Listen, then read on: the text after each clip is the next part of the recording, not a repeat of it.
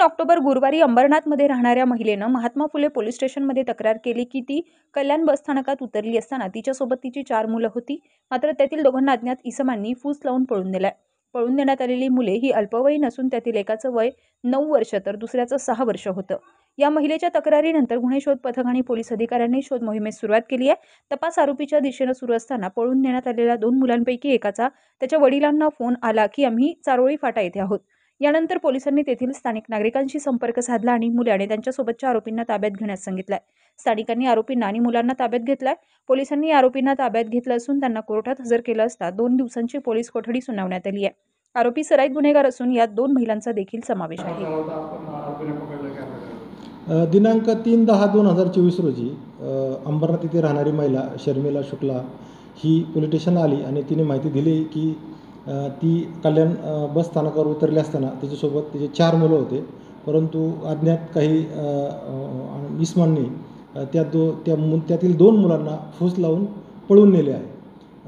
दोन्ही पळून गेलेले मुलं हे अल्पवयीन होते. एकाचं वय नऊ वर्ष होतं एकाचं वर्ष सहा वर्ष होतं. आणि आपल्याला माहिती आहे की अल्पवयीन असल्यामुळं आता मान्य पोलीस आयुक्तांनी अल्पवयीन मुलांचे जे प्रकार आहेत ते गंभीरतेने घ्यायचे सांगितले होते. म्हणून आम्ही तात्काळ त्या संदर्भात गुन्हा नोंदवून गुन्हा नोंदवला आणि आमचे गुन्हे शोध पथकाचे आणि पोलीस स्टेशनचे अधिकारी कर्मचारी हे तपास कामी लावले. आमचा तपास हा अविरत चालू होता. जवळजवळ नव्वदच्या नव्वद ठिकाणचे आम्ही C C T V footage check केले.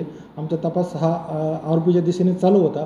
परंतु त्यात जे पळून नेलेले जे मुलं होते त्यातल्या एक मुलाला त्याचे वडील आमच्या ताब्यात असताना त्याच्या वडिलाला फोन आला की आम्ही चारोळी फाटा या ठिकाणी आहोत. तर आम्ही मग त्या ठिकाणच्या लोकल नागरिकांना संपर्क साधून त्यांना ताब्यात घेण्याबाबत विनंती केली असता त्या तेथील नागरिकांनी आरोपीसह त्या मुलांना ताब्यात घेतले आणि कासा पोलीस स्टेशन या ठिकाणी जमा केले.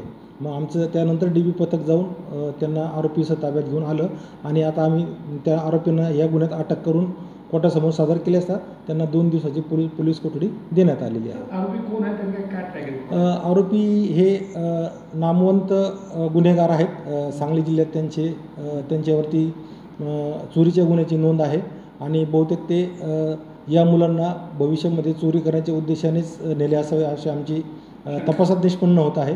तर त्याप्रमाणे आम्ही गुन्ह्यात कलमात गुन्ह्याच्या कलमात वाढ करून त्याप्रमाणे कारवाई केलेली आहे आरोपीमध्ये महिला पण आहेत हा आरोपीमध्ये दोन महिला आहेत. त्यांच्या त्यांचाही क्रिमिनल रेकॉर्ड आहे.